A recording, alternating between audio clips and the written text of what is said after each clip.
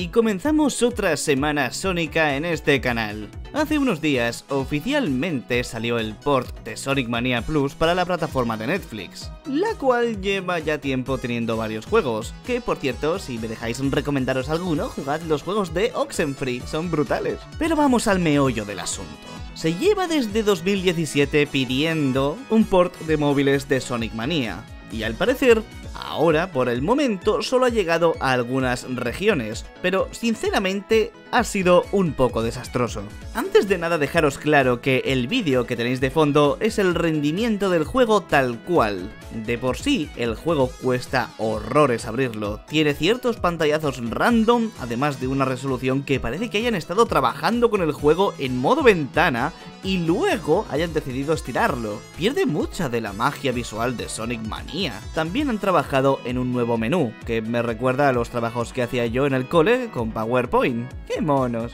En temas de control, mira, yo os recomiendo encarecidamente que uséis un mando conectado al móvil, porque si no lo vas a pasar muy mal. Y es raro porque es un Sonic clásico, ya hay ports de otros juegos del estilo que en móvil funcionan perfectamente, pero este responde de manera torpe y ojo, cuando entras a las fases especiales, apaga y vámonos. No va fluido, entonces es normal que te estampes con todo muro u obstáculo que te encuentres. Lo curioso es que, según Sonic Paradise, en los créditos del port pone que ha sido desarrollado por Laugh 42 Games, que es parte de Sumo Digital.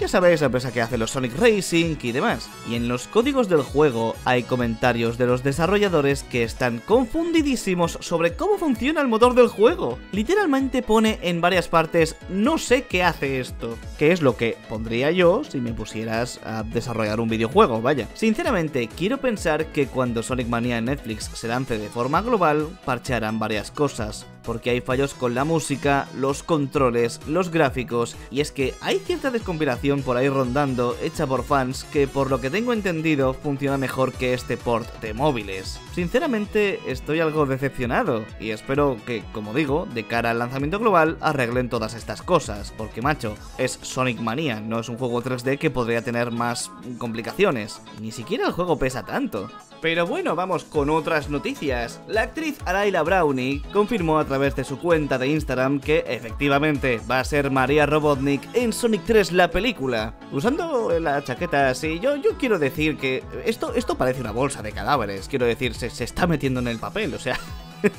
cine. También Tika Santer confirmó que volvía para Sonic 3, algo que sinceramente no es algo súper redundante, pero hey, también publicó en Instagram un par de fotos. Además también llegó una actualización para Sonic Dream Team, una actualización llamada Speed Battle, que contiene contrarrelojes, rankings online, nuevos movimientos y misiones extra para los jefes. Y la noticia que ha dejado desconcertada a bastante gente es que el conocido insider Daniel RPK, que hablamos de él últimamente, ya que suele ser un insider bastante fiable, ha confirmado que, según su conocimiento, por el momento nadie ha sido casteado para el papel de Shadow en Sonic 3 la película. Eso quiere decir que todavía no tenemos una voz para el personaje. Había un rumor de que Hayden Christensen haría el papel, pero como digo, todo esto son rumores. Y por el momento, estas son las noticias que os dejo por hoy. Yo soy Sergi Anseka Sonic, subo vídeos de Sonic todas las semanas al español, así que suscríbete y activa la campanita de notificaciones para que te avise cada vez que suba nuevo contenido. Déjame en los comentarios qué te parecen las noticias de hoy. En fin chicos, nos vemos pronto. Adiós.